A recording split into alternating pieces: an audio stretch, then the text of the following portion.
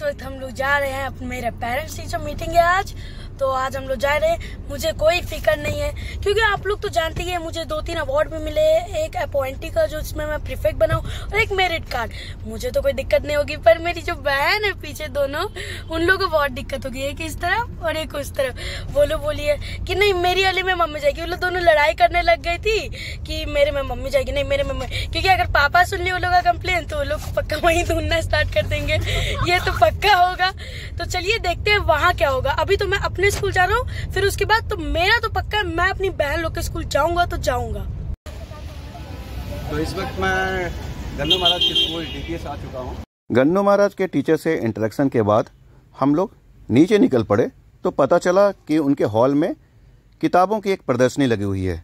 गन्नू महाराज को काफ़ी इंटरेस्ट है बुक्स पढ़ने में तो वो जिद करने लगे कि पापा चलिए ना बुक्स की प्रदर्शनी को देख लेते हैं। और जो डीपीएस का मॉर्निंग जो प्राइमरी सेक्शन है ना, उसमें हमेशा कुछ न कुछ एक्टिविटी होती रहती है। और वो भी एक्टिविटी जो होती है, वहाँ पे बड़ा ही प्रेरणादायी होती है और बच्चों के उत्साहवर्धन के हिसाब से होती हैं। तो आज की जो वहाँ पे पुस्तकों की प्रदर्शनी लगी हुई थी, उसमें काफ़ी अच्छे अच्छे पुस्तकों को मैंने भी देखा।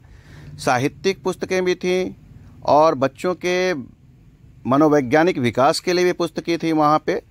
वैज्ञानिक पुस्तकें भी थी। हर तरह की पुस्तकों का भंडार वहाँ पे था। काफ़ी संख्या में पेरेंट्स भी बच्चों के साथ उन पुस्तकों को देख रहे थे। मैंने भी सारे पुस्तकों को एक एक करके देखा, बड़ा ही अच्छा लगा। काफ़ी चिरपरिचित लोग नज़र भी आए वहाँ पे, लेकिन उनसे मुखातिब हुए बगैर मैं अपने काम में लगा रहा क्योंकि हमें जल्दी ही निकलना था सीनियर स्कूल के लिए।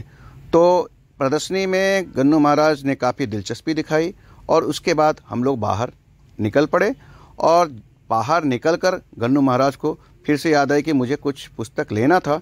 मैंने गन्नू महाराज के मनोसरसा को देखा और उनसे पूछा Gannu Maharaj parents teachers meet तो हो गया और आपने देखा कि अंदर में आपका एक एग्जीबिशन लगा हुआ है बुक्स का?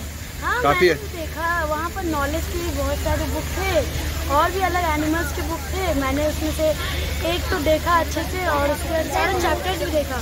एक बॉडी पार्ट वाला था मुझे तो वो बहुत बढ़िया भी लगा। तो कोई किताब पसंद थी तो आपको लेना चाहिए था वहाँ पे? हाँ सही बात है। तो चलिए फिर से। है, है? हाँ। कोई बात नहीं। तो इस वक्त हम लोग डीपीएस स्कूल में हैं और गन्नू महाराज अपने स्कूल में पीटर पेरेंट टीचर्स मीट से अब निकल चुके हैं बाहर। इनके टीचर्स ने की काफ़ी प्रशंसा की। चलिए वेल एंड गुड तो गन्नू महाराज चलते हैं घर। तो इस वक्त गन्नू महाराज के स्कूल से मैं निकल चुका हूँ। और अब जा रहा हूँ अपनी बेटियों के स्कूल मतलब सीनियर स्कूल्स में। तो जैसा कि गन्नू महाराज ने आपको बताया रिज़ल्ट एज एक्सपेक्टेड था।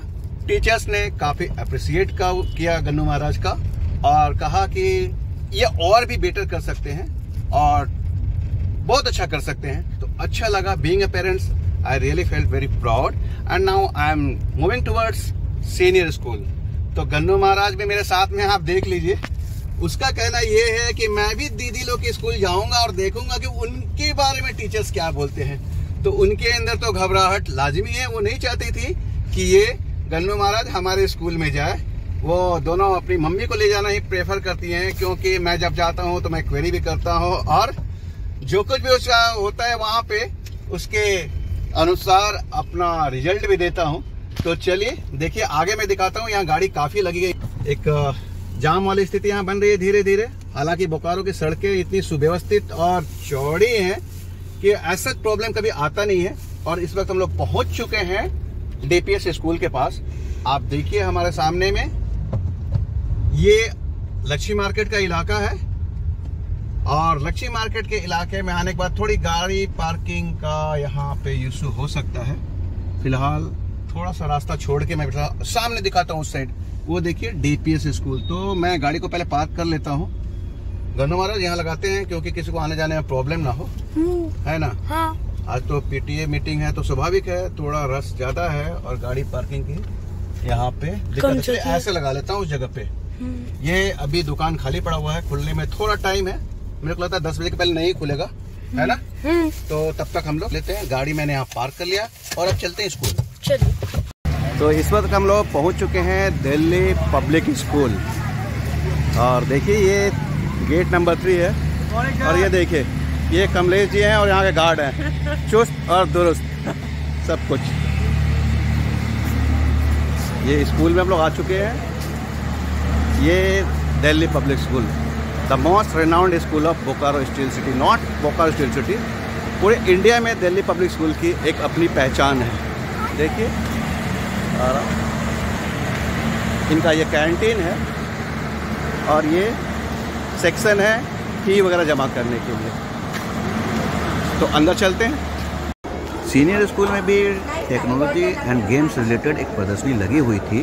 गन्ना महाराज वहाँ गेम खेलने में इंटरेस्टेड हो गए। उनको बड़ा मज़ा आता है इन सब चीज़ों में। उन्होंने तरह तरह के स्पोर्ट्स में वहाँ पे हिस्सा लिया और मैंने देखा कि वहाँ के बच्चे इतना स्मार्टली सब कुछ हैंडल कर रहे थे। कुछ लड़कियों ने अपने गेम के बारे में बड़े अच्छे से बताया। यहाँ से यहाँ भी आ सकते हैं। और आप उसको आउट कर सकते हैं जो आपके पास नंबर आया उसी से। अगर मान लीजिए आपका नंबर आ गया छः तो आप इससे ऊपर से जा सकते हैं। ठीक है? तो दीदी का भी अवार्ड मिला था। यहाँ पर मेरी दीदी है दीदी यहाँ कल्चर सेक्रेटरी बनी थी। उनको इसका भी अवार्ड मिला है। यहाँ पर ये तो फ़ोटो तो मेरी दीदी का अकेले का है। अपनी दीदी की तस्वीर को देखकर गन्नू महाराज काफ़ी खुश हो गए।